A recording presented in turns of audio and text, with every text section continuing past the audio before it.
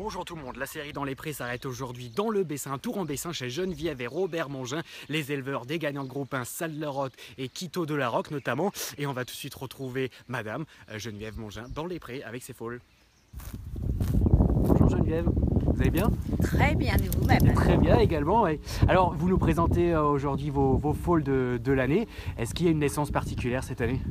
Alors, il y a eu deux mâles Ouais. qui, pour nous, sont des naissances particulières parce que ce sont les, les premiers que l'on vend. Donc, euh, lui, à 15 jours, il était déjà vendu. C'est un mâle de Crillon qui est né tard, très tard, puisqu'il est né euh, début juin.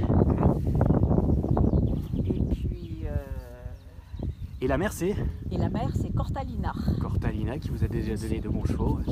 Brume, euh, euh, Toscane, euh, Siam, voilà, des, che- des chevaux euh, utiles, qui,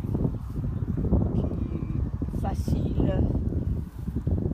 Et euh, après vous avez aussi Père de la Roque qui vous a donné une trois quarts sur de Sadler Rock, c'est ça? Voilà, alors Père de la Roque, euh, on a voulu faire un croisement l'année dernière euh, pour, étant donné que c'est une fille de la Rotava, on a voulu faire le même croisement que la Rotava, qui nous a fait Salder Rock, euh, qui a gagné le prix Alain Dubreuil, euh, Un groupe 1. un groupe 1 appartenant à Madame Bryan Mhm. et étant chez Monsieur Guicherel. euh, voilà, donc euh, nous nous sommes dit pourquoi pas essayer le même croisement et avoir un produit qui nous fasse rêver.